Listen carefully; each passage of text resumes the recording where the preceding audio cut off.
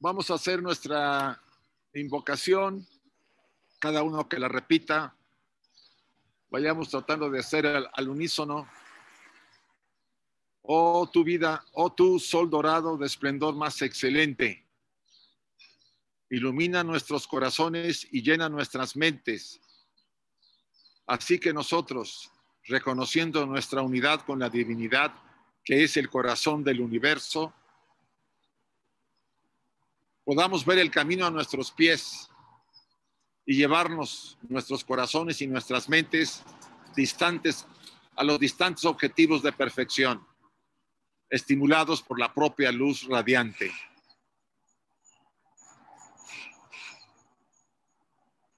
Así sea.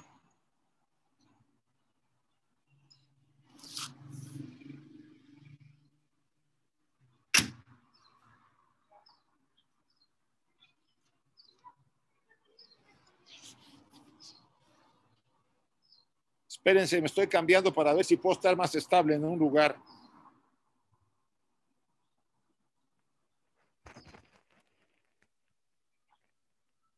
Permítame un momento. Ahora la... Perdón.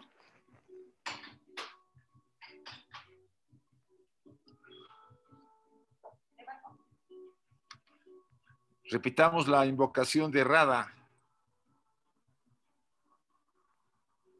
Hay una beatitud y un poder más allá de nosotros mismos que viene en ayuda de aquellos que están preparados para recibirlos. Volvamos a o regresemos a aquellas grandes fuentes de las cuales emanan incesantemente la fortaleza y la inspiración a todos los que, olvidando el, el yo, el yo personal, están resueltos a aprender y compartir sin reservas. Así sea. Bien, la siguiente ya saben ustedes que es la, más inspiradora para mí de todas estas invocaciones, aunque ninguna demerita. Invoquemos esa, ese conocimiento de la verdad. Oh Pushan, oh sustentador de todo, abre los labios de la verdad, ahora ocultos bajo áureo velo para que los devotos de la verdad podamos ver.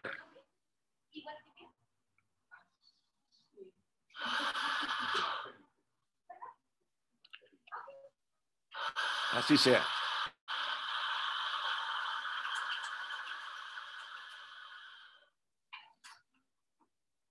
Este anuncio, ya saben, para los que manden ustedes este, algún saludo lo hagamos casi al final para después de, este, de esta reunión podamos verlo sin que haya distracción para los asistentes.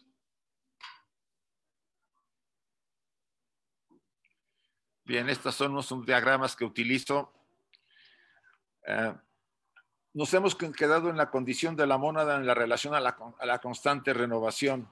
Casi fueron las últimas dos imágenes que se quedaron pendientes de la sesión anterior.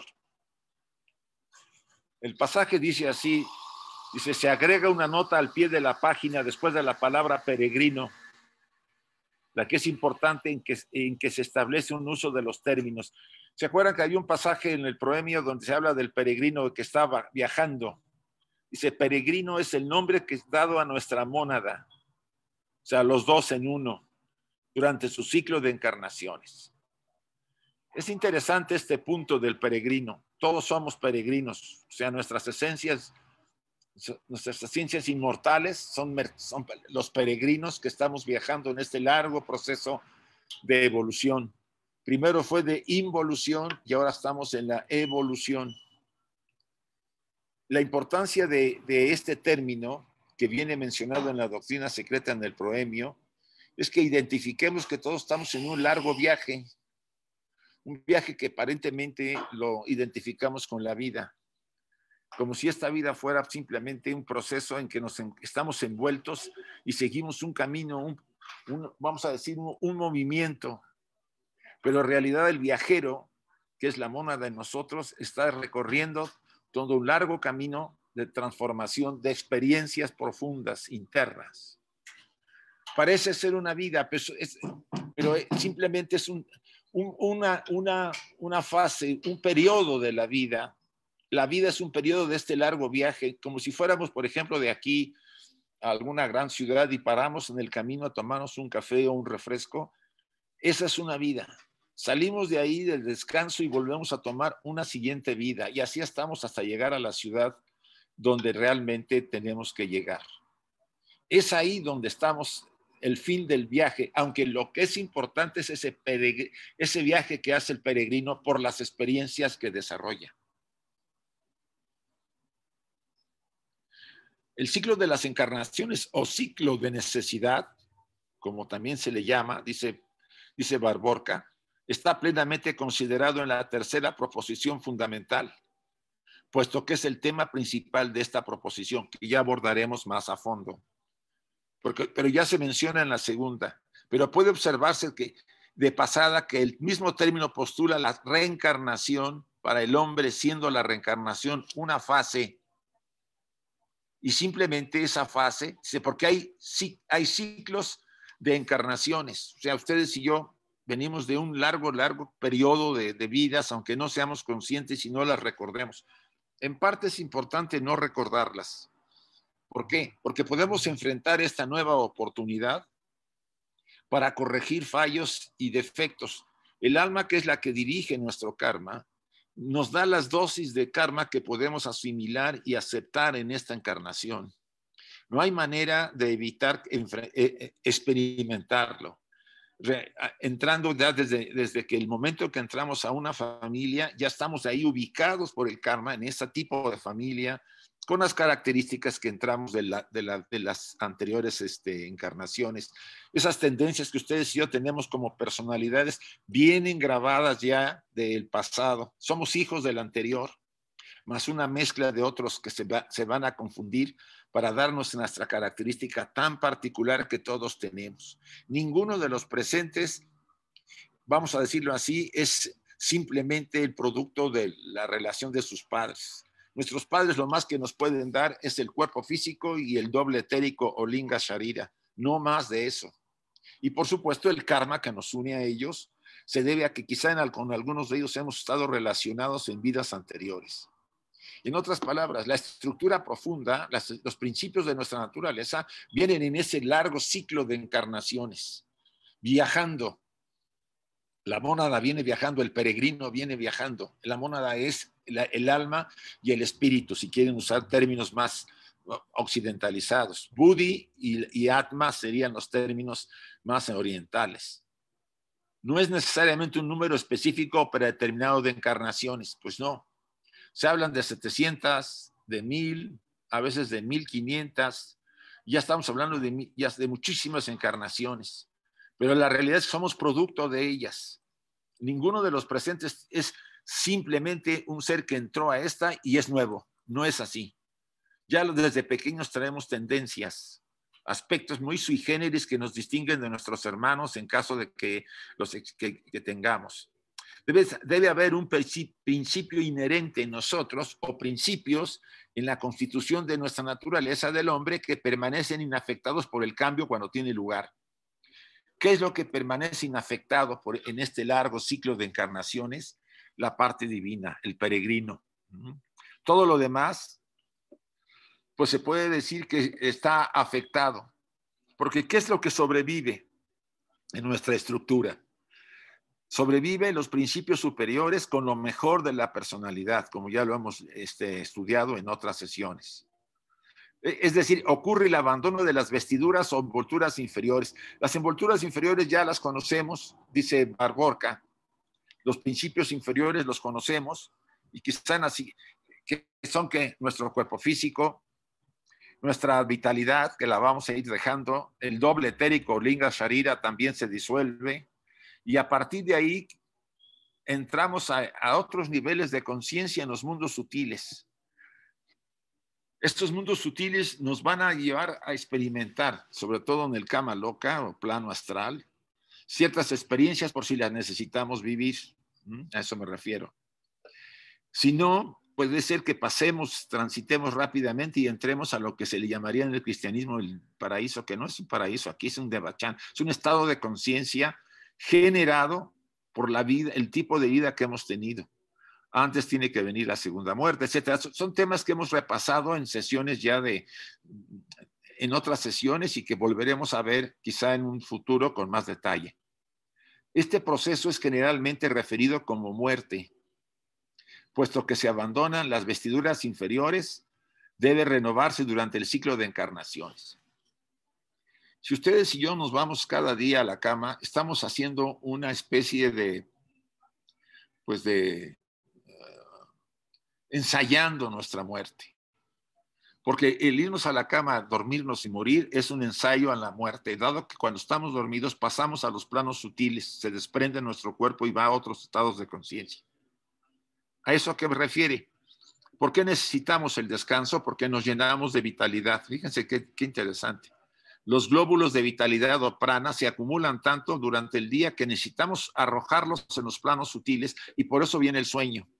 Obvio, el traje físico puede ser que parezca que está eh, debilitado, pero se debilita debido a, la sobrecarga de, vitalidad de nuestra naturaleza. Yo les refiero a todos en el libro pequeñito que editó la sección española que se llama Los Sueños. Y creo que hay otras ediciones de otras secciones y ahí HPV hace muy, aclara muy bien el tema de la vitalidad y de por qué los sueños son los sueños y parecen ser un, ejemplo de una muerte este, anticipada. En realidad, cuando estamos en otros planos, tenemos ciertas experiencias, nuestros principios superiores se separan y van a sus, a sus estados de conciencia superiores, nosotros nos quedamos aquí, el cuerpo físico queda paralizado, entre comillas, en la cama, los demás principios también quedan más o menos activos, pero en sus planos.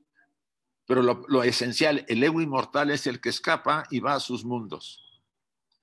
E, e, este proceso es generalmente referido como muerte, puesto que se abandonan las vestiduras inferiores. Debe renovarse durante los siglos de encarnación, lo que es realmente la muerte. El impulso para su renovación es proporcionado por los principios que permanecen inalterados durante el ciclo de la vida en este planeta y los que son referidos en la cita bajo el término mónada. Ese principio, aunque son los dos en uno, la mónada, eh, alma y el, alma, perdón, el alma y atma, el espíritu, que en los términos orientales se llama atma buddhi, se considera como un, aspecto unitario. Esos son los inmortales, si puede decir, junto con la mente superior. Y esos son inalterados, pero son los que generan que volvamos constantemente, porque por un lado tenemos karmas del pasado que están pesando, que requieren ser realmente, eh, vamos a decir, disueltos, si quieren así, en este plano físico, y otro que volvemos a generar en la vida y nos vuelven a encadenar. Por eso el Buda le llamaba la, rueda de la vida y de la muerte, porque estamos encadenados a ello. Por un lado, venimos a, a desgastar el karma positivo o negativo en esta vida, pero después volvemos a generar por razones de ignorancia más karma y volvemos a encadenarnos y pareciera que cargamos más de lo que soltamos. Eso nos hace estar aquí afijados y volver constantemente a la tierra. ¿Quieren ustedes dejar de venir? Bueno, pues tratemos de superar el deseo de violar las leyes a pesar de lo duro que pueda ser nuestra vida y el conflicto que enfrentemos. No es fácil, cuando uno tiene conocimiento de estos principios, de, estas, de estos ciclos, o sea, yo no digo que, los tengamos cerradamente, sino los tengamos como elementos básicos de decir, si mi vida se equilibra más, soy el más armónico, más, eh, vamos a decir, busco ser más eh, noble, más equilibrado, más sereno y tranquilo, hasta donde sea posible, enfrentando las experiencias más duras de una manera hasta donde yo pueda con serenidad y resolverlas sin entrar otra vez a generar nuevas experiencias de violencia. vivir en una frecuencia más bien equilibrada, de, tendencia a lo sutil, o sea, a la luz, aunque tenemos que cuidar también la oscuridad, o sea, los dos, las dos fuerzas están en nosotros, entonces la búsqueda es de buscar un equilibrio entre las dos, mientras no seamos algo más que un ser humano en este plano si nosotros empezamos a trascender esta, esta naturaleza humana directa, tendríamos que ir buscando el equilibrio, aunque posiblemente nos estemos moviendo un poco más de los extremos por las razones de la naturaleza interior que está escondida y que hay que resolver. Dice en el segundo párrafo, el impulso para su renovación es proporcionado por los principios que permanecen inalterados durante el ciclo de la vida en este planeta y los que son referidos en la cita bajo el término mónada. Bueno, una vez una reunión, creo que algunos de los que están aquí presentes han participado y hubo una, incluso un monográfico eh, que dio creo que José Luis y después tratamos de hacer algo más que se preguntaba qué es lo que evoluciona si realmente la mónada es perfecta. No, Atma no evoluciona, la que está evolucionando es Buddhi, el alma. Y lo dice Madame Blavatsky en la tercera proposición fundamental cuando la abordemos en las siguientes sesiones. Dice, dice eh, hay un, un Buddhi que va a, a, llevar a cabo ese ciclo de descenso a, a la materia y después regresar al espíritu. Ella es la que le da, la que dota a la estructura de toda esa autoconciencia a través de la mente superior, de toda la estructura superior. Cuando la mente, la mente superior y la mente inferior se unen en una sola, y Buddhi, que es la que ha llevado a cabo el, proceso de involución y evolución junto con la Atma, que simbólicamente es lo eterno en nosotros, adquiere la autoconciencia en este universo finito. Vinimos de un universo eterno donde sí somos autoconscientes, digámoslo así, pero en un universo finito no. Y entonces adquirimos la autoconciencia en el largo peregrinaje hacia la materia y después hacia el espíritu. Dura millones de años. Nuestra monada está haciendo ese largo viaje, el peregrino que viaja eternamente. Y pareciera que no hay fin. Por lo menos la enseñanza oculta dice que no hay principio ni fin para nuestras mónadas.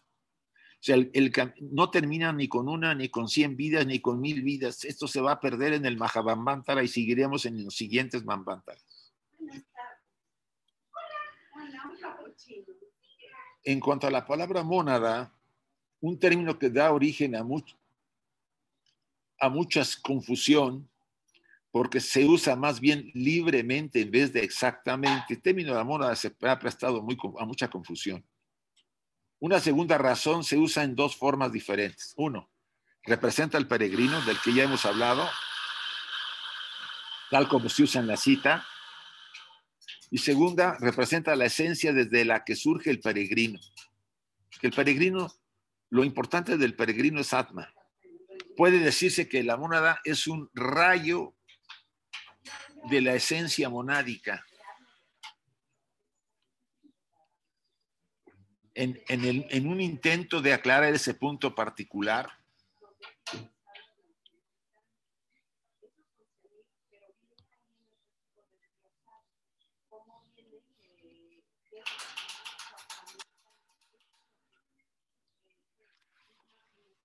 ¿Qué quiere decir esto? Que nuestra esencia, la mónada, en la segunda parte, o sea, el peregrino tiene dos, está formado por Buddhi, que es el contenedor, la copa, como en el, en el mito del Grial, recuerdan ustedes. La copa del Grial contenía que la sangre, cuando fue cristianizado el mito, porque originalmente no era, no era cristiano, era pagano, la copa es el recipiente donde se recibe lo eterno, a esa emanación, a ese a esa irradiación de la eternidad de nosotros, de la unidad de vida, vamos a hablarlo así, la emanación de la unidad, del primer logo, si quieren verlo así. Pero ese primer logo necesita un upadi o un recipiente, y ese recipiente es la estructura material. Bueno, Atma es ese, ese, ese logos, esa irradiación, y el recipiente es el alma, el alma que retiene, que recibe en la copa del grial a la radiación eterna. Entonces, ese vehículo a su vez es contenido en la mente como vehículo de mayor densidad. Y la mente en, las pasiones y las pasiones nuevamente en los vehículos materiales. O sea, todo ese ciclo, desde lo espiritual a lo material, van siendo recipientes tras recipientes para formar el vehículo, la copa del grial o la mónada. Bueno, antes de llegar a esto voy a abrirlo por si hay algún comentario, ¿les parece? Si alguien quiere hacer alguna pregunta, déjenme abrirlo. Nuria, lo voy a abrir. Está abierto. A ver, ¿quién quiere hacer alguna pregunta?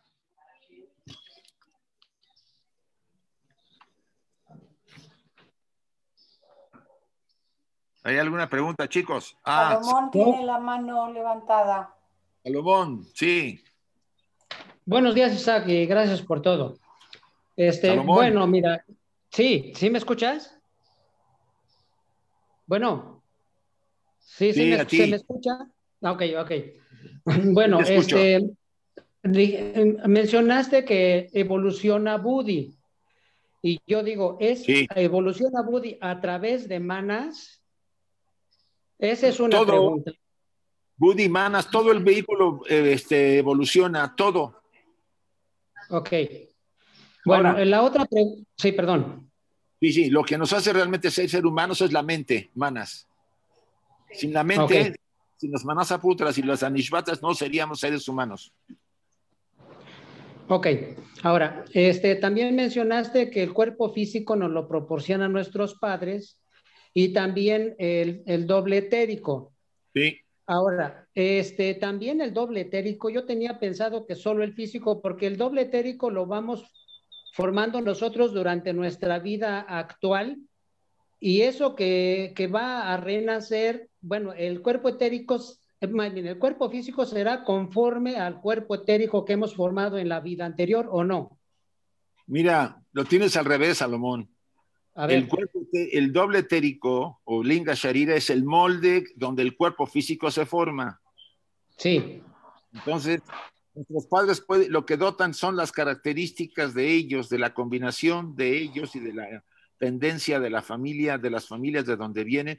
Le dan, vamos a decirlo así, le dan una característica al doble etérico que ya trae ciertas tendencias del pasado. Se, se unen a esa parte, vamos a llamarlo así. Ya. Sí, ya, ya le entendí. que tú vienes con una especie de traje, un traje, de un, un vestido. Vienes con un saco, una, una chaqueta y un pantalón que te dieron eh, unos parientes hace mucho tiempo y lo sigues llevando. Llegas a la casa de un amigo y te dice, oye, vamos a ponerle a tu chaqueta unas, unas, este, unos colores, vamos a bordar unos colores alrededor de la chaqueta, en los pantalones, vamos a arreglarlo, vamos a agregarle algo más a lo que ya traes. Eso sería el aporte de, la... Y con eso se fabrica un nuevo molde, que es el traje físico. En otras palabras, ya creo que entiendes a lo que me estoy refiriendo. Sí, sí, totalmente. Muchas gracias. Bien, Marcela, por favor.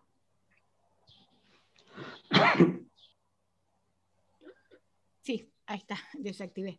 Em, Isaac, Em, cuando hablamos de la mónada y del peregrino y de esa conjunción de Budi y Atma, que lo que evoluciona es el alma en el lenguaje no, digamos, budista, por así decirlo, em, esa, esa esencia o esa mónada proviene de aquello que es lo absoluto, de ese espacio que es indefinido y que es lo que culturalmente se llama Dios y lo que culturalmente también se antropomorfiza. Nosotros estamos, si ves en este diagrama, hasta aquí abajo del, huevo del mundo, si te fijas. ¿Sí? Marcela. Hasta acá. El micrófono, lo siento. Sí, sí, sí, lo veo, lo veo. Bueno. Nosotros tenemos, las mónadas han emanado de la fuente. ¿Sí? Aquí están los ají, Aquí están los Lipika, aquí están los Manasaputras, los Anishvatas y toda la serie de jerarquías hasta llegar al ser humano. Nosotros estamos formados por varias jerarquías, no nada más por una, por varias. Nuestras mónadas vienen en este largo viaje de qué? De las tres, vamos a decir, de los tres logos. Pero la esencia de nuestra mónada viene del primer logos, si quieres verlo así, de este. Esa irradiación que está en la copa es del primer logos. ¿Sí? La copa es el alma. Y esa alma contiene a ese logos, esa irradiación. Más complejo es meternos, eh, cómo es posible que eso siga en su, en su estado de conciencia, en su universo, y nosotros tengamos acá este aspecto. Siempre se ha dicho que esa irradiación es un reflejo en nuestra naturaleza. Pero esa copa del grial, usando el mito del grial, significa que es el alma que está en nosotros como copa, que es femenina porque contiene, si quieres llamarlo así, es de materias de Mulak Prakriti más sutil, contiene a la, a la irradiación del primer logos, ¿sí?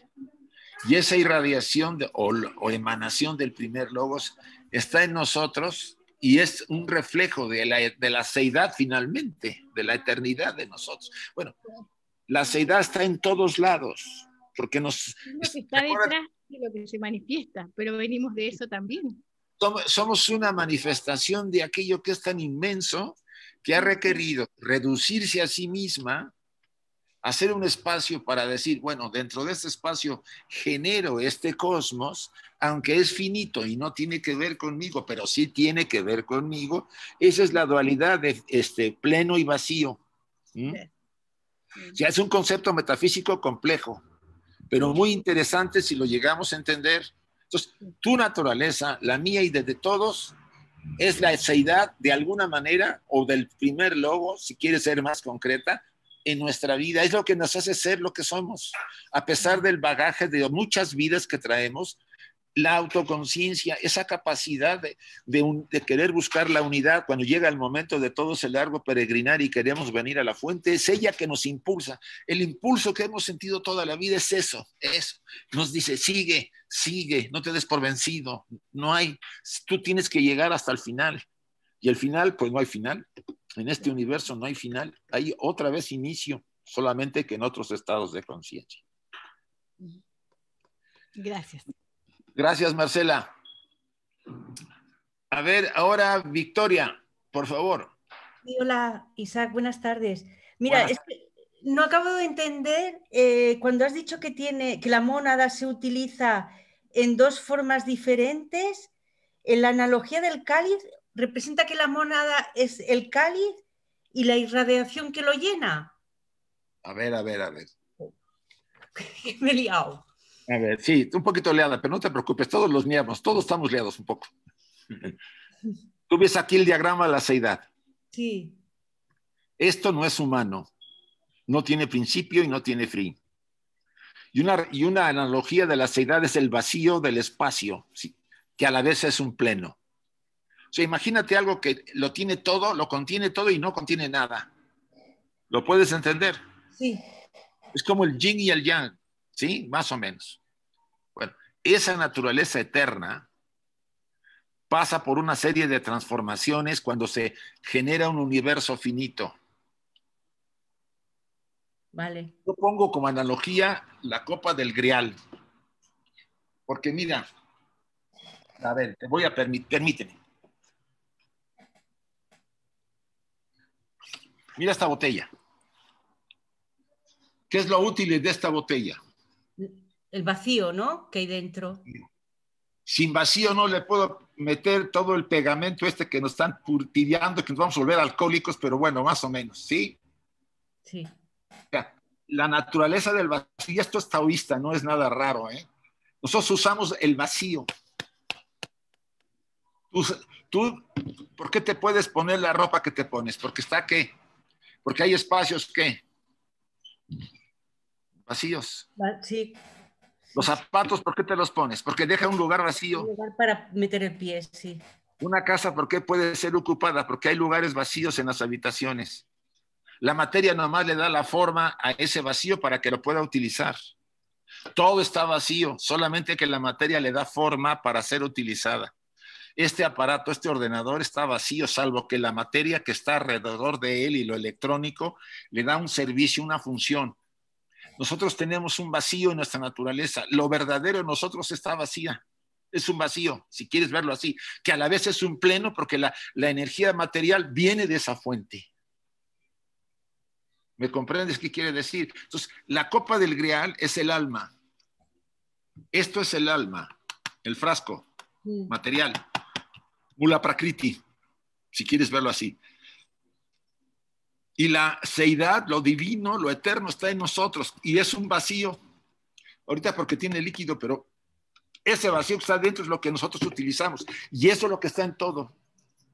Sostiene todo el cosmos. Y estamos inmersos en el vacío, porque este cosmos está flotando en un cosmos, o no es así, en, una, en un espacio. ¿Y ese espacio cómo está? Vacío. El vacío está ocupado por la materia, entre comillas, los planetas, los sistemas, las galaxias, pero toda esa, esa, esa materia, esos sistemas y esas galaxias solamente le permiten a qué? A ser utilizadas por otros sistemas dentro de ellas, como somos los seres humanos. Si no, no hubiera, no hubiera una Tierra, no podíamos estar en ella, no habría vida humana. El vacío siempre permite que exista la manifestación de la materia, y la materia y el vacío son lo mismo, es el yin y el yang. A ver si así lo pescas. Gracias. A ti. Gracias. ¿Hay alguien más, chicos? Bueno, vamos a proseguir. Isaac, una pregunta. Hola, soy Rosy, pero eh, bueno, estoy en la computadora de mi hija. Soy Rosy, mucho gusto. Eh, una pregunta, ahorita que comentaba la hermana, ¿podría ser que la copa, la copa representa al UPAD y al vehículo? y adentro que le metieras gas, por ejemplo, que le metieras gas o que le metieras vapor y lo tapas un momento. Ese vapor representaría la esencia, ¿no? En sí lo que es la conciencia, ajá, que se tiene que manifestar o, que se manifieste dentro de eh, todos los vehículos. No, bueno, el gas ya no representa la seidad, es el vacío el que representa la seidad ya el gas representaría los diferentes principios más densos, cada vez más, cada vez más, hasta que la, botella fuera el cuerpo físico, si quieres verlo así.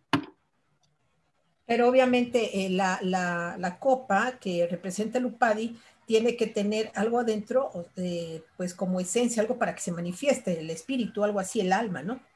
Es que nos cuesta trabajo porque tenemos la mentalidad que debe haber algo. No, hay que leerte el Sutra del Corazón y verás que no hay nada, este, no hay mundo, no hay Dios, no hay maestros, no hay bien, mal, no hay nada. Es correcto. y la mente quiere a fuerza meter algo porque Exacto. Bueno, eso es un poco para intentar. Yo creo que con, el, con la meditación de la maestra Blavatsky, con la meditación espacial, donde ella nos va guiando, que vayas pensando diariamente que tú no eres el cuerpo, y que cada vez cuando entras en esa meditación eh, percibes que el cuerpo se hace poroso, poroso, poroso, poroso, poroso y ya conectas el espacio de arriba con el de abajo y te haces uno con ambos. Entonces llenas ese vacío, pero lo llenas, pero no lo llenas, ¿sí me entiendes? es más o menos la idea, ¿no? Que lo llenas, pero no está lleno. Que nunca. Pero estás. la mente requiere. El, la mente, el problema de la mente es que siempre se va a separar en dos aspectos Sí, por la dualidad.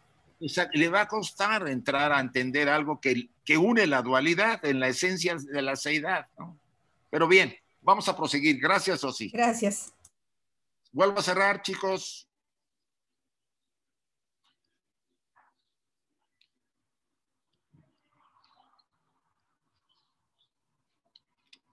Una tercera razón, quizás solo apropiada para aquellos que están familiarizados con el griego mónada, principalmente significa una unidad, uno, aquello que es indivisible, como está explicado por el significado original de la palabra griega. Además, la chispa de la eternidad es en verdad mirada como indivisible. A la mónada se le considera también la chispa de la eternidad, de, esa eh, irradiación de la eternidad del primer logos. Sin embargo, en el mismo pasaje, considerando al peregrino, es referido como los dos en uno, de aquí que aparentemente es una duada. Por supuesto, la copa y lo que está y el vacío que hay es una duada. El espíritu y la materia y la copa, el espíritu es la eternidad, la seidad, y el traje físico con sus principios es la materia, vamos a llamarlo así. O sea, ese aspecto que está en la eternidad, que no tiene principio ni fin, necesita un medio para manifestarse desde la parte del alma, la mente superior, la mente concreta, las pasiones, la vitalidad, el doble etérico y el cuerpo físico. O sea, ustedes y yo somos un templo de algo sagrado. Y eso que está sagrado en nosotros debe ser respetado, debe ser cuidado en el sentido no tanto de, decir de que requiere un cuidado directo en el sentido como nosotros pensamos del cuidado. El traje, si es una representación de de aquello, no le pongo signo de sinónimo de, de, cualidad masculina o femenina, sino aquello requiere hasta, hasta llegar a este plano físico un traje. Entonces, si yo cuido el traje, lo estoy cuidando a él. Y cuidarlo significa alimentarlo bien, mantenerlo limpio, equilibrado, no darle, no, no alimentarme de cosas dañinas, no, no tomar drogas, no hacer, y además de eso, que eso sería la físicamente, cuidar los pensamientos porque afectan el traje, cuidar las emociones porque afectan el traje. Y estoy hablando solamente de la personalidad. Entonces, si el vehículo personal está equilibrado, lo que se está manifestando espiritual en él vibra en una frecuencia mayor y entonces desciende, o yo haciendo, mejor dicho, a ello, uno mi mente concreta con la mente superior y me convierto verdaderamente en un ser, un ser divino en la tierra. Y no estoy hablando de ninguna iluminación ni nada, sino un ser equilibrado que armoniza su naturaleza y que se convierte en un colaborador de, de la vida para ayudar a esta humanidad. Este estudio nos permite entenderlo así. Y si somos capaces de dar ese paso, nos ayudaremos a esta, a esta humanidad de la que está tan necesitada de verdaderos estudiantes. Y me refiero a verdaderos estudiantes que creo que todos lo somos, pero hay diferentes grados de interés y el interés tiene que ver con la, la, la madurez del alma. Ahorita en este público que hay ahorita aproximadamente 146 personas. Les aseguro que hay 146 diferentes grados de madurez del alma. Y por supuesto, 146 diferentes grados de compromiso con la vida una. ¿Por qué? Porque hay demasiados distractores en la vida diaria, la familia, el trabajo, los problemas ahorita de este famoso virus, convito lo que quieran ustedes. O sea, de repente al identificarnos con el traje que es un upadi solamente y olvidarnos de lo superior o que lo tenemos por ahí un poquito relagado, nos identificamos con el traje y nos da miedo porque el traje se ve expuesto a peligros. Y si se ve expuesto a peligros, vamos a volvernos más egoístas y a cuidarnos y quizá cuidar a nuestra familia. Vamos a romper con el equilibrio que hay en nuestra naturaleza, que debe ser uno con la vida una la enseñanza nos lleva a la práctica, a buscar este, tener esa capacidad de ser nosotros sin dejar de ser uno con la vida una. Porque hay un objeto en, nuestra mónada tiene un fin y un principio. Nos ha traído acá y nos va a llevar de aquí hacia donde tenemos que llegar, que es una eternidad. No hay fin para nuestra mónada. Y este viaje que hacemos ustedes y yo por estos lugares, estos eh, oscuros lugares de la materia, es necesario para que a través del dolor, del sufrimiento, reflexionemos y vayamos dando pasos para ser mejores seres humanos, más nobles, más equilibrados. No hay otro, ese es el modelo que le tocó a este cosmos y que nos ha tocado a nosotros en este globo y a toda la humanidad que viene atrás de nosotros y que ya nos adelantó también. ¿Qué podemos hacer? No vamos a cambiar el modelo el sufrimiento va a ser el gran maestro, nos guste o no nos guste. Y para poder superarlo, tenemos que aceptarlo. Aceptarlo significa ver quiénes somos verdaderamente, ver lo que hay en nuestra naturaleza interior, tanto la luz como la oscuridad. No rechazarlo, sino decir, así estoy, ¿qué puedo hacer para equilibrarla?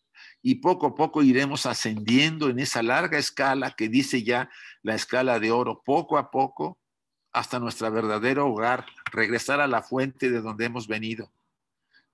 Y ese es el fin, así, que, nos, que este legado de la teosofía, del oculto que nos dio HPV, nos, nos presenta para poder crecer y desarrollarnos. No lo, no, lo, no lo hagamos a un lado simplemente porque nos parece que la vida es muy impactante.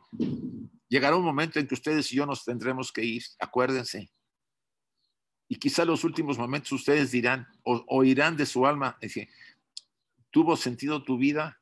¿Para qué viviste? ¿Cuál fue el objetivo que estuviste, por el que estuviste en este plan? ¿Qué le van a contestar? Pregunte, pregunto. ¿Se sentirán satisfechos? satisfechas. Viví con sentido, mi vida tuvo un sentido, valió la pena. Y no quiere decir que tengamos que ser héroes o heroínas, no, no, como seres humanos, porque traíamos un destino, un programa. Cumplí con el programa o me hice tonto porque me distraje tanto por el disfrute, porque me tocó la buena, un karma bueno y tenía yo tantos recursos que se me olvidó a lo que yo venía. O al contrario, fue tanto sufrimiento que no tuve tiempo de atenderlo porque estaba siempre buscando comer y darle de comer a mis familiares. ¿Qué podemos hacer? Ustedes dirán, la pregunta se las van a hacer tarde o temprano en los planos sutiles, cuando tengamos a esos jueces que nos dirán, a ver, Isaac Jauli o Isidro o el que sea, ¿para qué has vivido? ¿Qué fue lo que hiciste? Y nos pasarán la vida y ustedes no podrán ni yo podré mentir porque ahí estará plasmada lo que hicimos.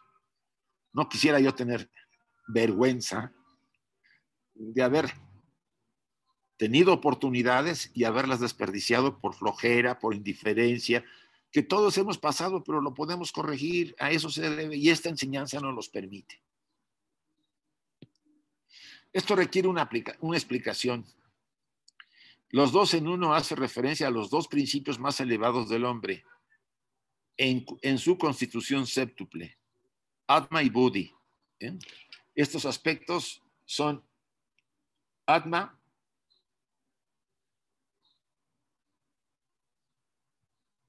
y Buddhi están acá. ¿sí? Hay más aspectos superiores, pero vamos a dejarlo así. el significado esencial de la palabra Atma puede interpretarse mejor como aliento, ¿no? Como sugerido por algunos estudios eruditos que derivan la palabra de una raíz verbal an, que significa respirar, que da origen al pensamiento místico de que Atma es expirado desde la fuente del todo, la fuente de la existencia de la seidad, ¿sí? Ese impulso, ese, esa expiración se lanza a todas las, las mónadas átmicas. en nosotros está eso y nos deberíamos sentir orgullosos de pensar que este lugar en que estamos viviendo, lo divino está en nosotros. Llámenle como quieran en la tradición religiosa que ustedes quieran.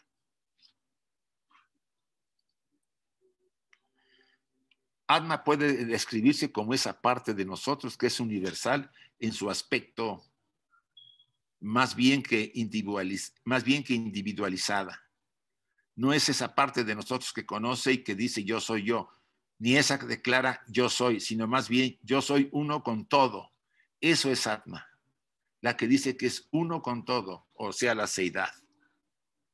Sin embargo, este aspecto universal no es capaz de funcionar directamente en los planos inferiores de la existencia, en el mundo físico, sin los upadis, como decían los vehículos que tenemos, ¿no? Buddhi, la mente, las emociones, la vitalidad, el doble y el cuerpo físico. O sea, va descendiendo ese aspecto a través de esos upadis, a través de las manifestaciones de los upadis, hasta experimentar en este, en este plano. Esa es la naturaleza verdadera de nosotros, es eterna.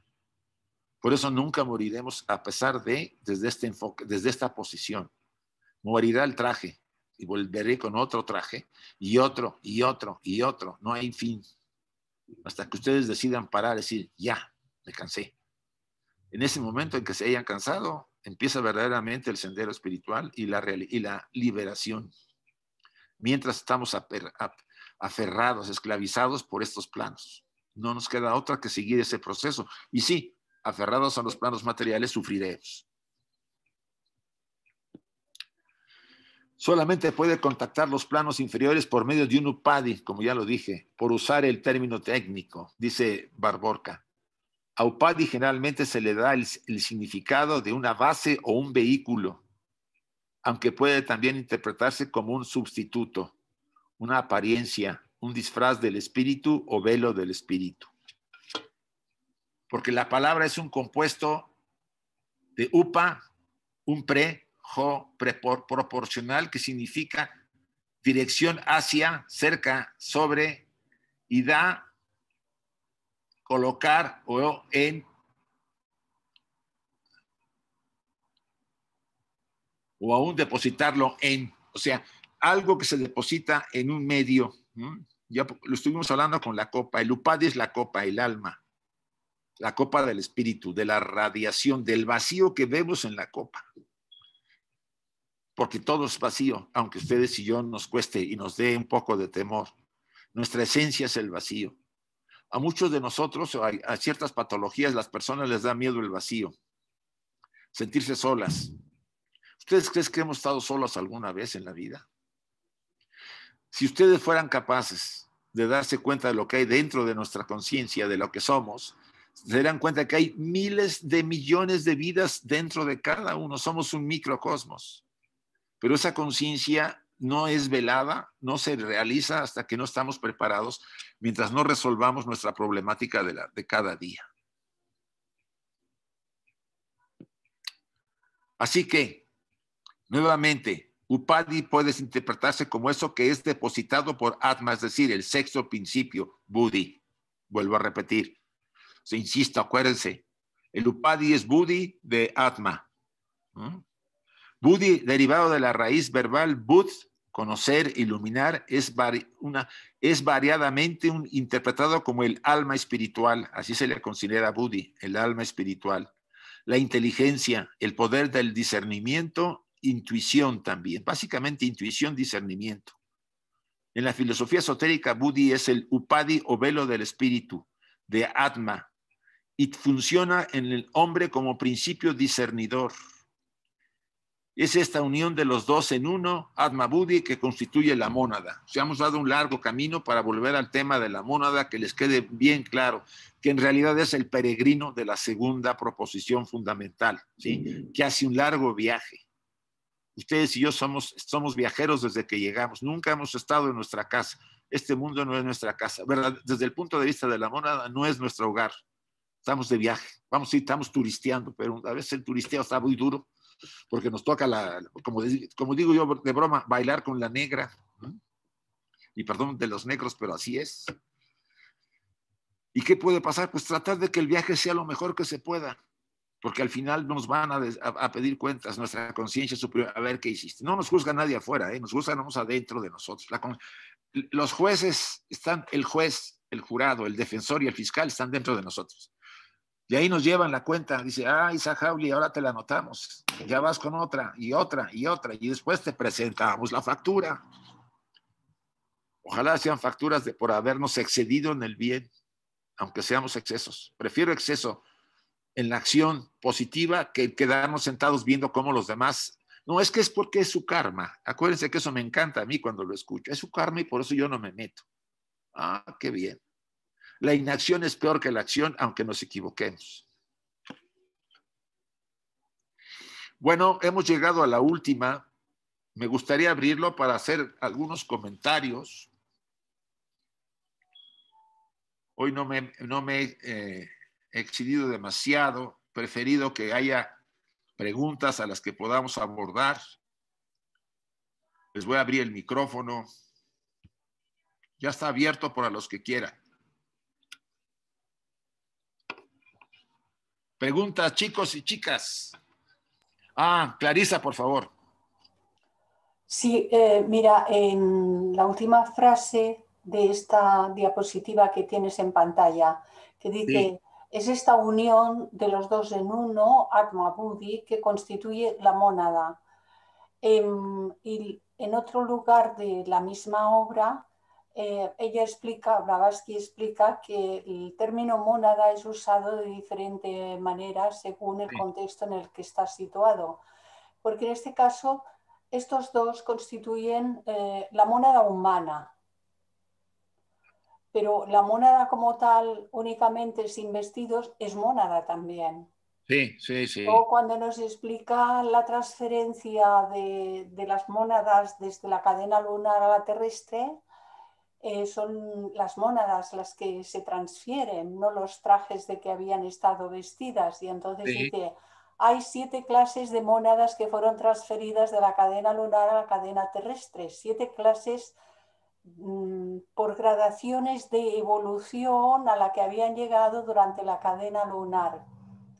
Y digo esto porque em, como los, los, estudiantes y luego pues cada uno cuando tiene un texto delante de la doctrina secreta y hay tantas variaciones, ¿eh? porque según lo que está tocando lo nombra de una manera o de otra, que no nos extrañemos, que dentro de contexto la misma palabra puede significar varias cuestiones, que no nos sorprenda, que no nos extrañe en realidad no son contradicciones, sino la enorme dificultad de poner nombres a cosas tan absolutamente abstractas. Y que ya en aquella época. Sí, no, estoy totalmente de acuerdo contigo, Clarisa. También y, hubo la dificultad de los nombres. Perdón. ¿Sí? Sí, sí. Que llega con retardo. Sí, sí, estoy de acuerdo, porque en realidad incluso HPV en varias obras y sus comentarios la llega a usar con una variedad de, enfoques. En este caso, en esta parte del proemio de, la segunda proposición, yo pienso que esta aclaración de Barborca nos ayuda un poco a entender más un poco lo que es el peregrino, o sea, la mónada. Sí, mónada humana, está bien. Sí, la mónada humana, gracias. Considerarlo. Sí, el siguiente fue Ángel González y después Gilberto.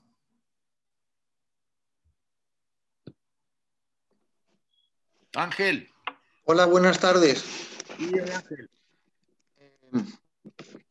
Eh, a ver, mi pregunta es, el, el miedo es una emoción que tiene un poder enorme si el miedo es muy grande en una persona, supongo que afecta muy negativamente al, cuerpo astral. Eh, el miedo puede llegar a ser muy paralizador y pienso que, es uno de los mayores impedimentos para que, que nos podamos realizar, para que la mónada pueda mejorar o se pueda realizar espiritualmente. No sé, lo he explicado muy mal y seguramente que he dicho cosas que no son correctas pero desde ese punto de vista, em, y corríjame en lo que me haya equivocado, me gustaría saber, señor Howley, si tiene usted algún, algún consejo para, para vencer ese miedo que nos paraliza y que no nos deja desarrollarnos al completo como seres espirituales. Gracias. Mira, la estructura personal es una estructura finita, si queremos llamarlo así, o sea, la personalidad, la mente concreta, la parte emocional o kama rupa, el, doble etérico y el cuerpo físico, y la vitalidad. Esos aspectos se van a disolver tarde o temprano, aunque puedan quedar las, las experiencias a través de la mente concreta que, dependiendo de la segunda muerte, y es entrar en ciertos detalles. Bien. Siempre hemos visto con el trabajo como de mi profesión que la relación del tema de la, del, uno de los, del miedo en la personalidad tiene, tiene, que ver mucho con la falta de conexión con la parte superior, con la parte espiritual. Siempre he considerado que la autoestima tiene que ver mucho con la, lo divino en nosotros. Y por experiencias de vidas anteriores está de alguna manera afectada esa parte. A veces cuando nosotros vivimos experiencias de terror o de miedo, porque hay personas que tienen patologías muy fuertes sobre miedo, terror. Eh, yo tengo un paciente que pasa por esas experiencias muy difíciles. Es muy probable que en vidas anteriores provocó e hizo sentir a mucha gente ese miedo y ese terror. Les, les, les afectó, les quitó, les, les dejó en, la, en, en condiciones tan negativas que esas personas se llenaron de temor y de inseguridad. ¿Qué, dice la vida? Ah, caray, con que, con que haciéndolas así, pues mira, ahora vas a sentirlo en carne propia en la siguiente vida y te darás cuenta del sufrimiento que originaste. Y uno empieza a darse cuenta de que uno es el propio, el que ha sembrado la semilla y ahora la recoge el fruto en la siguiente vida. Ese enfoque está muy ligado a que si estamos muy desconectados de la parte superior, por decirlo algo, o alejados, vamos a hacer una serie de actos o, acciones o a tener una serie de experiencias que van a dañar y afectar a mucha gente. Eso, el karma, la ley kármica, la ley de retribución, lo va a tomar y lo nos va a cambiar en la siguiente para aprender la lección. entre más cercano estemos a nuestra verdadera esencia, mucho menos llevaremos a cabo acciones de ese tipo. Estoy hablando acá primero con un enfoque teosófico. Desde un enfoque de psicológico, vamos a decir mucho en la línea del doctor Jung, ese aspecto oscuro es parte de nuestra naturaleza. Recuerden que tenemos en nosotros luz y oscuridad, ¿sí? El segundo logos, inevitable. Nos movemos en la, polaridad. Es obvio que a medida que estamos equilibrados, esos aspectos se, se acercan. Y aunque al bajo está manas, mahat, la mente, tendrá que haber un triángulo en nosotros más equilibrado, porque nuestra mente estará moviéndose en, limitaciones cada vez menores, o sea, no en exceso, sino en más tendencia al equilibrio. ¿Qué podemos hacer ahí? El miedo es parte de la, vamos a decir, de esa oscuridad, si quieres llamarlo así. Ya en los pasajes de la voz del silencio se trata de esa sombra ¿no? que serpentea. No hay otra que trabajar con ella, aceptar esa naturaleza en nosotros. La mayor parte de las personas rechazan su miedo, que es, la característica de la parte sombría de nuestra naturaleza. Lo rechazan porque les atemoriza que esa imagen les afecte. Al contrario, hay que acercarnos a esa parte, a reconocer que fue, es nuestra naturaleza también, parte de aquello que nosotros no queremos aceptar, pero que no nos debemos convertir en eso, sino mantener la raya, pero dándole su lugar y reconociéndola.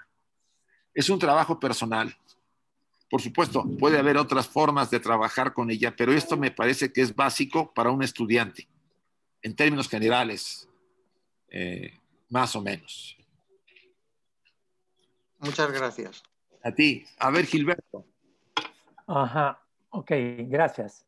En el primer párrafo de esta lámina dice algo que me confunde un poco, porque tengo entendido que eh, Budi es el Upadi, el contenedor o el depositario de Atman, ¿es correcto? Sí, es correcto. Entonces aquí dice lo contrario, porque aquí dice, así que nuevamente Upadi puede interpretarse como eso que es depositado por Atman. Debería decir, Upadi puede interpretarse como eso donde es depositado Atman. Por eso dice, interpretarse como eso que es depositado por Atman. Quizá la palabra por Quizá la palabra te confunde, me parece, por, pero si tú la quitas diría como eso que es depositado. ¿Dónde es depositado Atma? Eso se podría decir, sí, estoy de acuerdo. Es correcto lo que dice este joven. Es, un problema de, estructurar la frase gramaticalmente. Totalmente, Humberto. Se falta estructurar, como dice Clarisa en las traducciones, yo, yo saco exactamente como está para no alterar nada, pero a veces yo me he encontrado con fallos en las traducciones, las palabras, y las cotejo a veces con el libro en inglés, la primera versión, y, era, decía lo contrario, ¿sí? Bueno, no lo contrario, corregía lo que estaba. Ok. Gracias a, Clarisa, gracias a Clarisa por lo de joven, pero ya son 71 años. Bueno, yo el día 30 de mayo cumpliré 74, o sea que joven, joven, joven. Seguimos siendo jóvenes. sí. Gracias, Gilberto.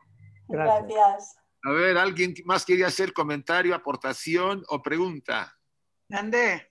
Yo quería preguntar A ver, ¿quién? Perdón. Yo.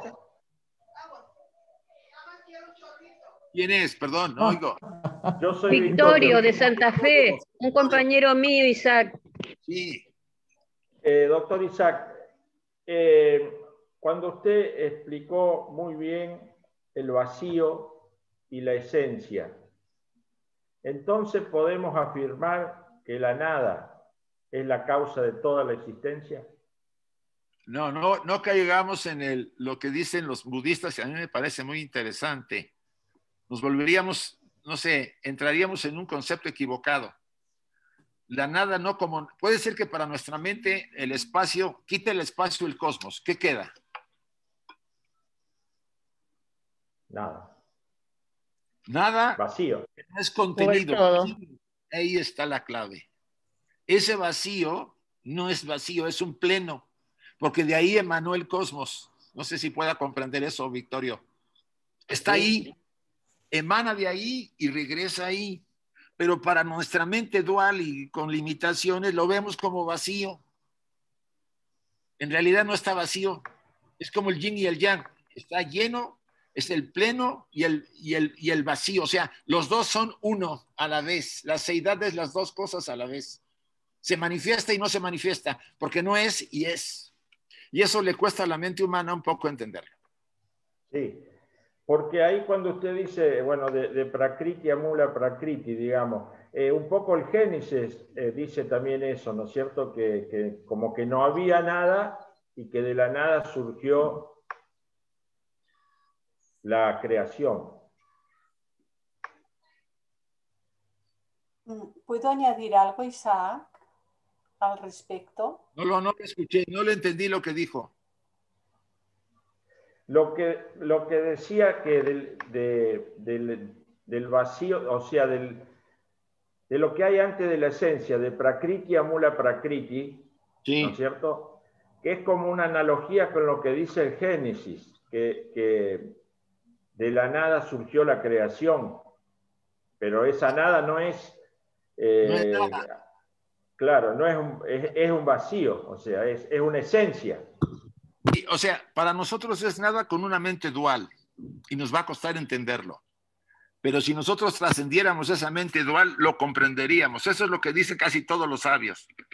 Dice, mientras usted está en el plano de la mentalidad polar o dual, no comprenderá esa, ese aspecto hasta que usted no vaya trascendiendo esos aspectos. Gracias. ¿Puedo añadir algo, Isaac, al respecto? Sí, sí, um, veamos, eh, la idea de, de, la nada, la propia señora Blavatsky dice que es um, imposible, un, una cuestión absolutamente, absolutamente imposible. Eh, partimos del todo, todo con mayúscula, todo, ese espacio que en el primer tomo de la doctrina secreta está definido como que es infinito, no ha tenido principio, no ha tenido fin, el espacio, cuando no hay ningún universo manifestado, está vacío de formas, pero está lleno, completamente lleno. Por eso sí. es el plenum. A lo que consideramos como vacío es solo cuando no hay formas ahí, pero queda todo el espacio. Y por eso hay una, eh, hay aquí lo iremos viendo, porque estamos en el primer tomo y esto aparecerá más adelante. Sí. Que dice, ¿y qué? Le pregunta al, al, discípulo, ¿y qué es lo que permanece tal y tal y tal? Y contesta, el espacio. El espacio permanece, ya haya universos manifestados o no haya universos manifestados. La respuesta es el espacio. Y ese espacio, cuando no hay un universo manifestado, es el plenum, pero está vacío de formas. Esa es la gran paradoja. Pero esto hay que meditarlo más allá de la mente concreta dual, porque con la mente concreta dual queremos entender lo que es imposible, porque está más allá de ella misma. La mente concreta puede comprender desde ella misma para abajo, pero nunca desde ella misma para arriba. No es le es dado, por su propia naturaleza, no le es dado comprender lo que está más arriba que ella misma. De acuerdo, gracias Clarisa. Pues bueno, no sé si habrá podido clarificar algo más la idea. Sí, sí, Clarisa, ayuda. Sí. A mí me, me, ayudó, hermana, muchas gracias. Al contrario, a ti, gracias. Y no, no, y acuérdense ahora de la materia negra, que nadie lo ve, pero que está ahí y que de, de alguna manera influye en los universos. Aparentemente en ese vacío está lleno de materia negra que ahora la ciencia así la está de, determinando. Pero bien, vamos a dar la palabra. Gilberto, otra vez querías hablar antes de pasar con Cecilia y Elsie. No, yo no había levantado la mano, ese que no la bajé, pero sí me pudiera aclarar, si pudiera decir algo a raíz de lo que están diciendo, porque como yo lo interpreto, haber estudiado a Aristóteles, por ejemplo, Aristóteles sí. hablaba de acto y potencia. Potencia es algo que no ha llegado a manifestarse, pero se sabe que está ahí. Yo, Eso, veo una, analogía, yo veo una analogía clara, por ejemplo, y valga esta analogía un poco mundana, cuando un hombre y una mujer están enamorados, ahí hay un niño en potencia. Ajá. que no se va a manifestar sino hasta que ellos con, construyen su relación, pero potencialmente hay un niño. Esa es una manera de, si uno con esta mente inferior quiere tratar de ver eso que es imposible de ver, uno podría buscar analogías de ese tipo. Otra manera sería ver ese plenum, como dice Clarisa, que está lleno de ondas vibrando a una frecuencia tan elevada que es imposible que se manifiesten. Solo que la manifestación implicará que esas ondas empiezan a bajar en frecuencia hasta que se van haciendo más densas y más densas y aparece la manifestación. Es otra manera de ver eso. Sí, tiene razón Gilberto. Y esto viene otra vez a lo mismo. aquí este diagrama, ¿se acuerdan que les puse de los, de los universos que han habido? Cada esfera es un universo, cada esto es un pralaya, la oscuridad donde vuelve, vuelve a surgir, vuelve a ser a la oscuridad.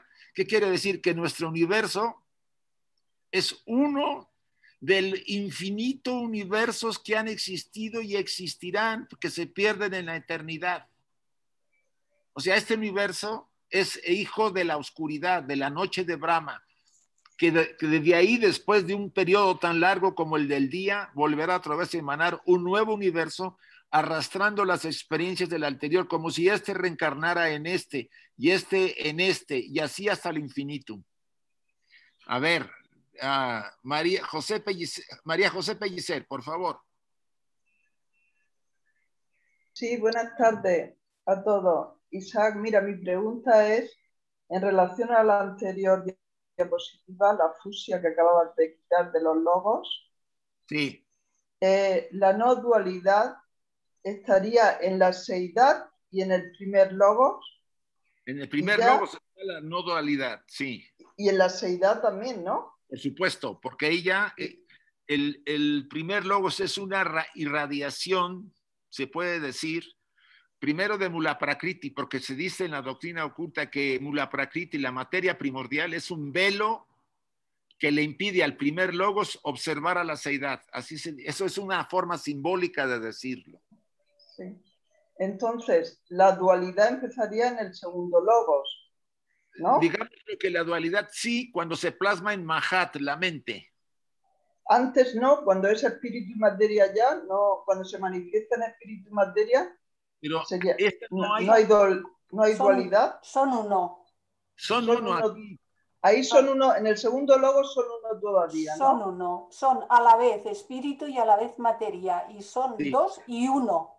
Recordar lo de la Trinidad, que eso, también es para las mentes superiores cuando somos capaces, o sea, lleguemos a ser capaces de poderlo, em, ya no digo ver ni visualizar, sino que es otra cosa, ¿no? Porque no tiene que ver con el pensamiento concreto, que es al mismo tiempo espíritu y materia.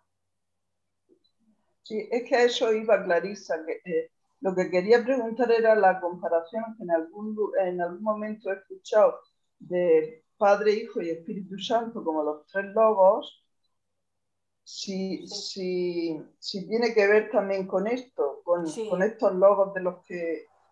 Sí. ya, ya, ya, más degradado, sí, es una forma simbólica, porque nosotros llevamos estos tres logos en nuestra naturaleza, que somos una, somos una gota de la eternidad, recuérdalo. Entonces la dualidad empezaría a través de la, o sea, eh, eh, a partir de la mente, me has dicho, ¿no?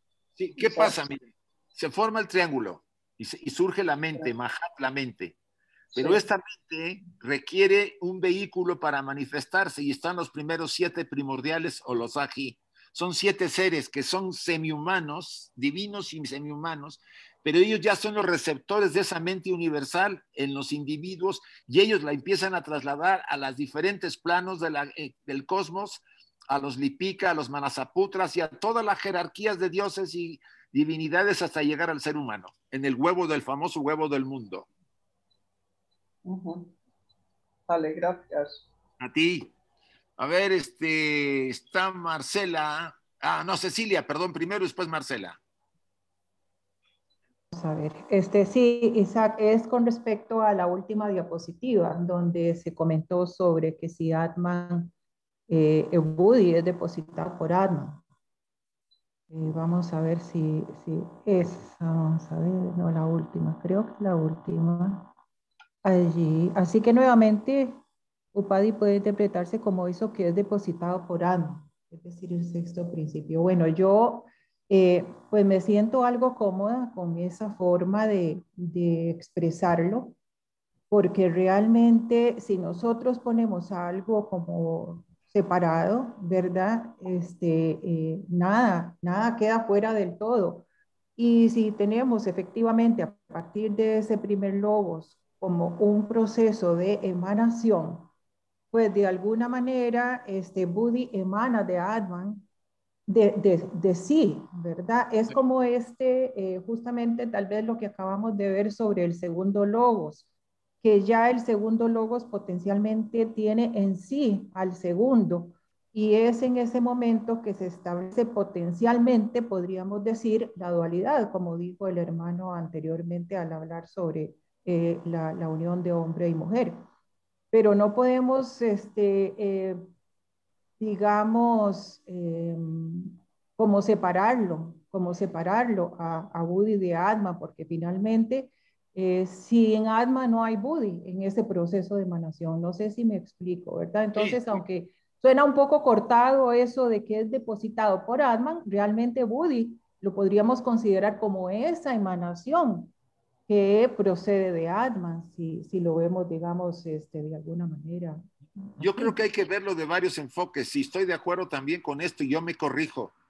En sí, como tú lo estás proponiendo, es real también, pero también lo, a la vez es el depósito de Atma en un medio o en un PADI, también lo puede ser. Se, se ve para mí de las dos maneras, ¿sí? Yo creo en ese sentido. Diría que es depositado por Atman para revestirse de ello. Eh, exactamente, exactamente. Muy Porque bien. nada está fuera de ese absoluto. Ah, claro, problema, el problema siempre es que las palabras matan.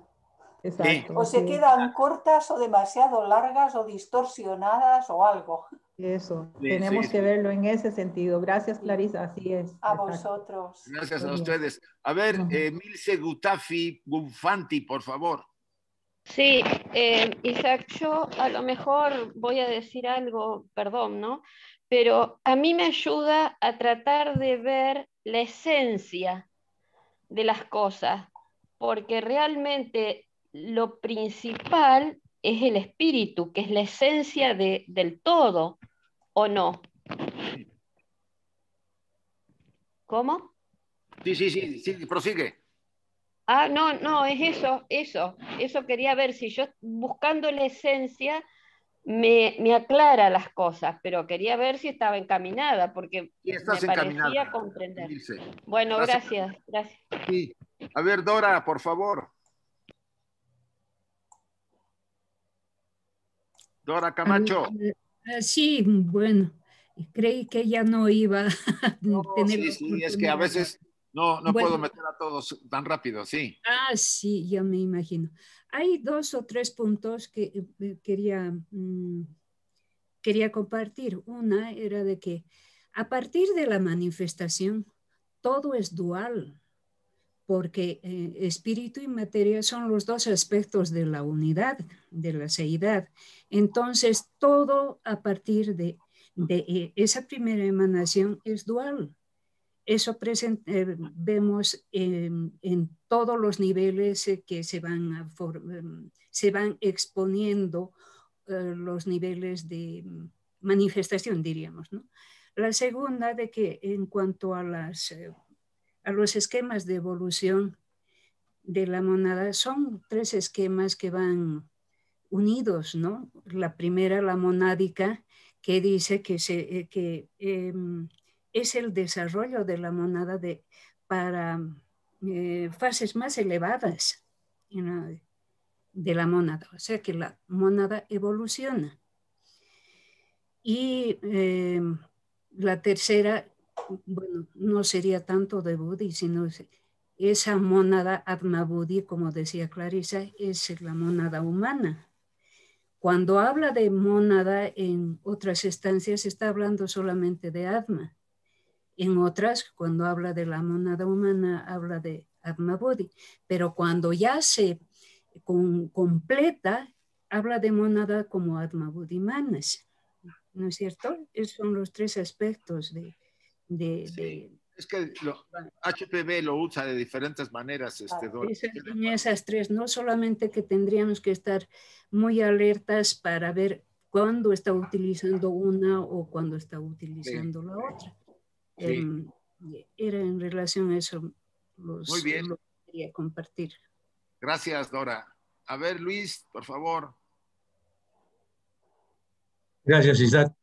Y la verdad, este, la pregunta iba en el caso también de Dora.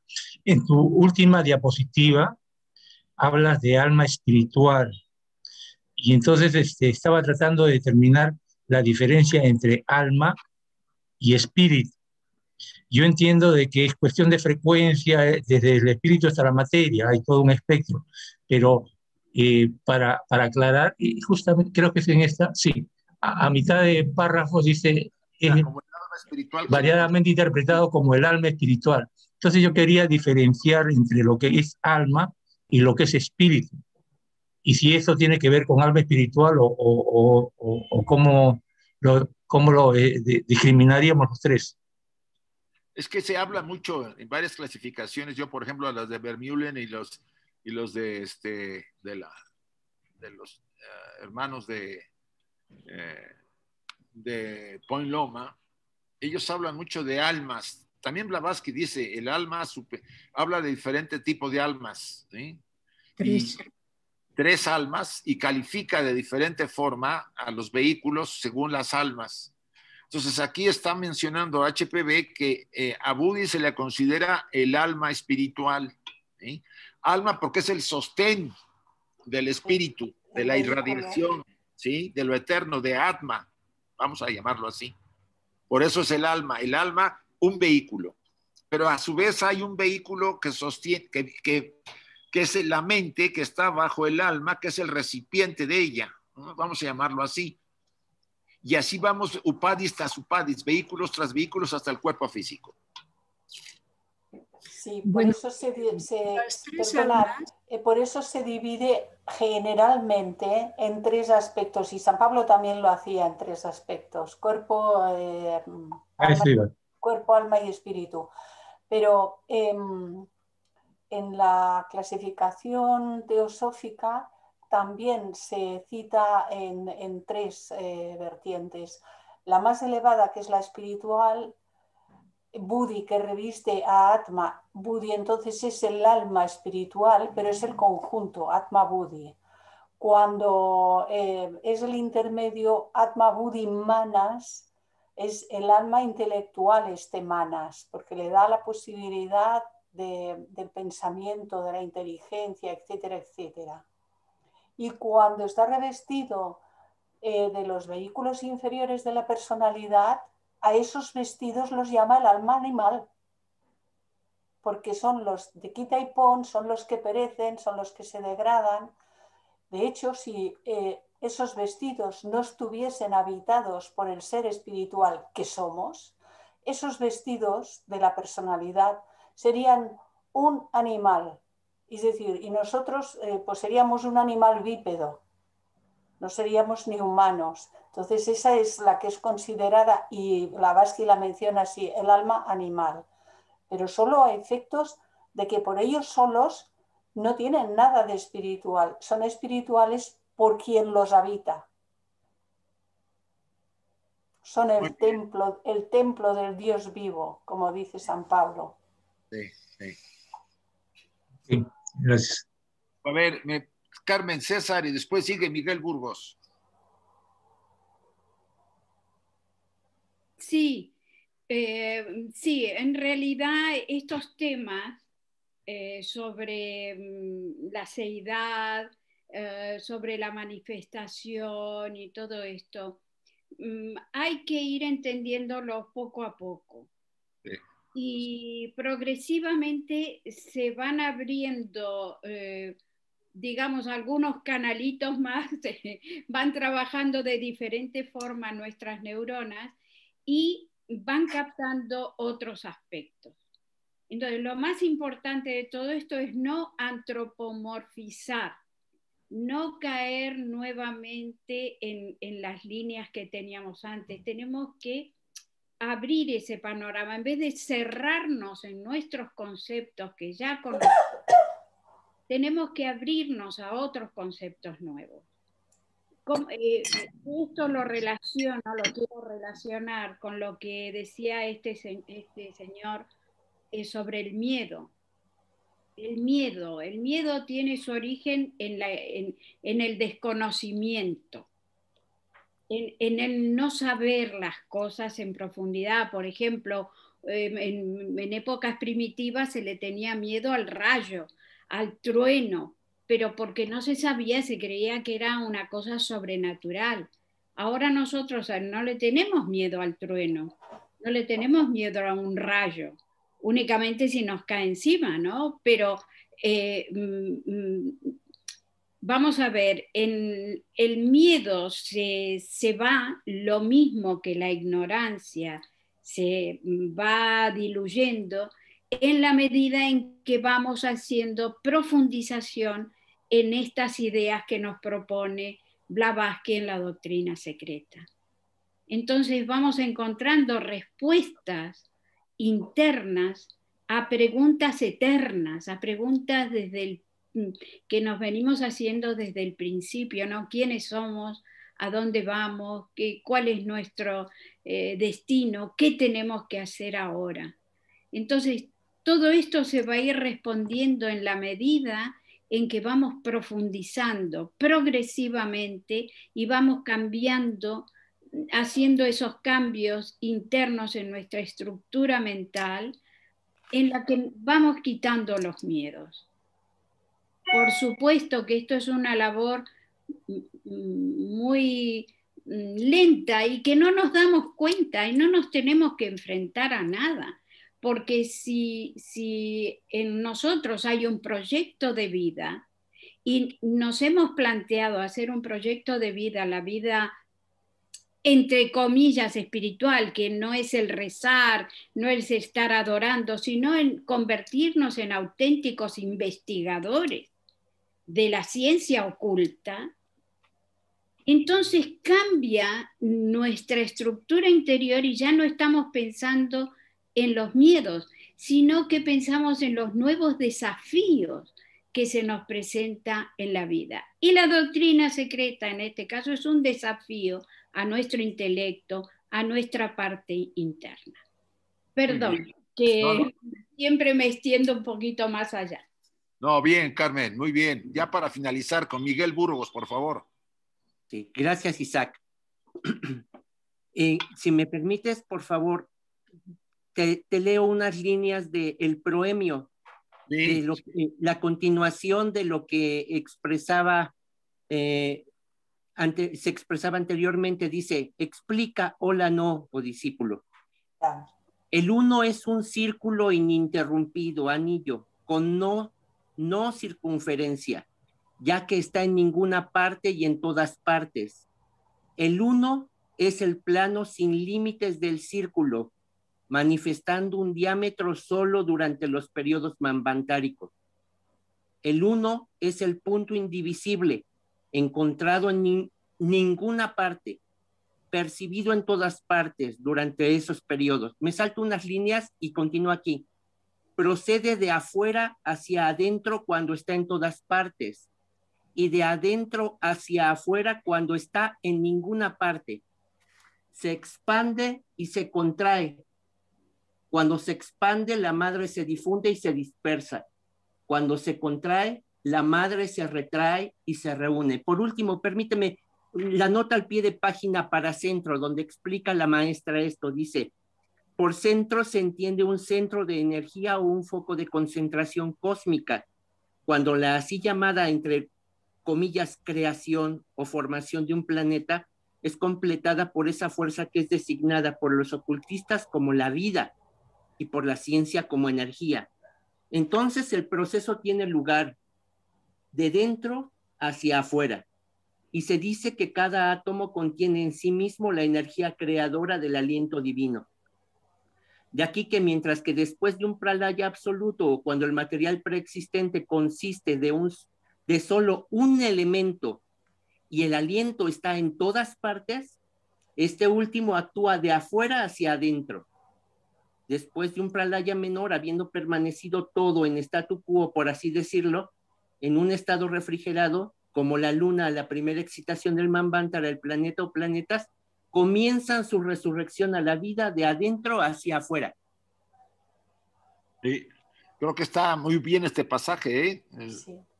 De dentro hacia afuera quiere decir desde los planos superiores, desde aquí arriba, donde él, tiene el diagrama puesto ahora, hacia abajo. Este diagrama, mm, Adentro hacia yo, afuera. Lo, yo lo habría puesto lo, la seidad arriba y lo otro abajo, no en posición horizontal, sino en posición vertical.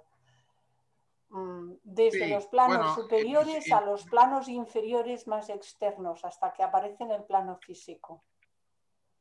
Está Sí. hablando de planetas, ¿eh?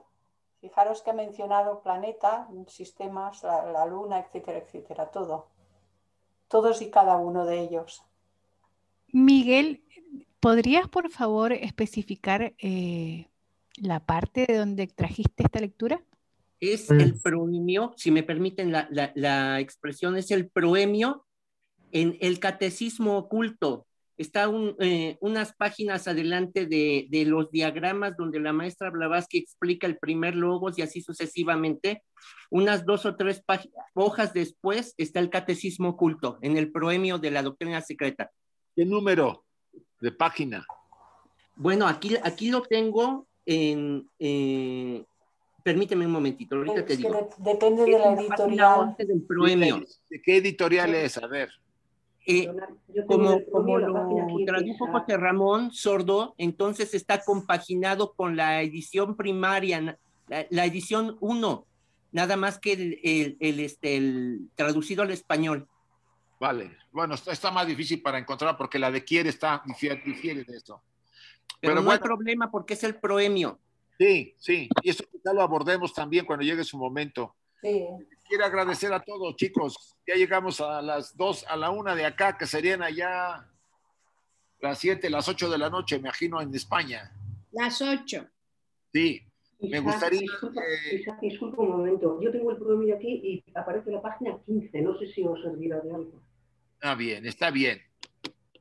Quisiera yo, eh, de alguna forma, déjeme ver, aquí vi una mano, no, ya no hay nadie. Ah, sí, Isaac. Cecilia Calderón otra vez, creo. Isaac, el proemio se envió, lo volveré a enviar. Ah, vale, muy bien, Nuria, No, gracias. yo no, yo no, Isaac, gracias. Es que no bajé la mano, creo. Ah, vale. Quisiera entonces, este, pues darle gracias a todos. Eh, me gustó mucho los comentarios tanto de Clarisa como de Carmen, sobre todo en el sentido de que no antropoformicemos, y eso es muy importante porque tendemos a eso, ¿no? A, a dar imágenes y formas, y más bien a meditar profundamente hasta donde podamos en los conceptos que hemos tratado. Le- les- eh, Nuria hizo el favor de enviarles a ustedes la guía de estudio y algunas preguntas sobre el tema. También va todavía la meditación de la voz del silencio que recomendó. Y gracias por ello. Gracias. Entonces, no lo dejen. Vamos a cerrar nuestra, nuestro estudio con la invocación de Annie Besant, por favor. Les voy a cerrar a todos el micrófono y después lo vuelvo a abrir. Permítanme. Repitamos las frases de, que Annie Besant nos dio para cerrar este trabajo. Cerremos nuestros ojos unos momentos. Oh vida oculta que vibras en cada átomo. Oh luz oculta que brillas en cada criatura.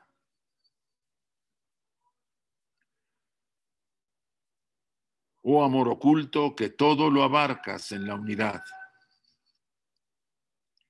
Que cada ser que se sienta uno contigo es uno con todos los demás.